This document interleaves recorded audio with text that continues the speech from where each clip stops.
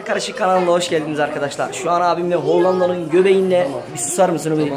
Hollanda'nın göbeğinde kendime ne alıyordum? Huawei P20 Pro. Yani ne diyeyim şu an e, bulunan en pahalı telefon. Ünvanına sahip olan P20'yi alıyorum. Sizinle paket açılımında beraber birazdan yapacağız. Takipte kalın. İyi seyirler. Evet, telefonumuz da burada. 128 GB'lık olanı alıyorum. Şu özelliklere sahip. Gördüğünüz üzere. Birazdan da incelemesini geçeceğiz. 3 kamerası var. Detaylı incelemeyi evde açacağım.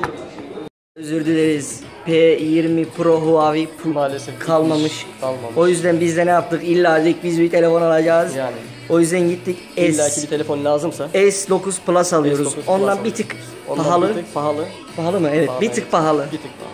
Yani özellik olarak ikisi de birbirine çok yakın ama biz e, şimdi S9 Plus'ı alıyoruz. Aynen. Kalbimiz ama Huawei'den yanıydı. Niye? Çünkü 128 GB şeyi vardı, alanı vardı. Yapacak bir şey yok. E, Samsung alacağız. Onu da yine 128'e yükseltiriz. Sorun yok. Evet arkadaşlar az önce bahsettiğim gibi telefonu aldım. Şu an evdeyim. Eve geldim. Beraber e, Galaxy S9 Plus'ın açılımını yapıyoruz. Haydi. Suyu da açmak her zaman zordur.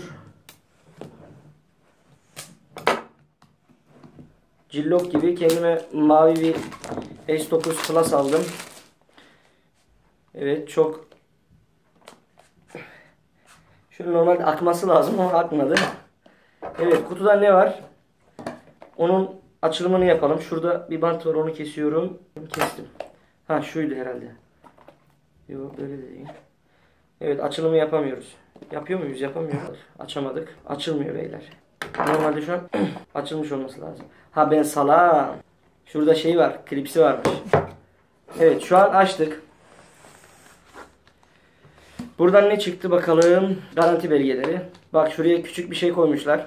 Ee, hat çıkartmak için. Görüyorsunuzdur. Gayet hoş.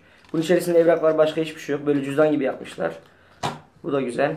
Ve müthiş. Görüyorsunuz. Telefonumuz çıktı. Çok hoş ve bir ne diyeyim mavi bir rengi var gördüğünüz gibi.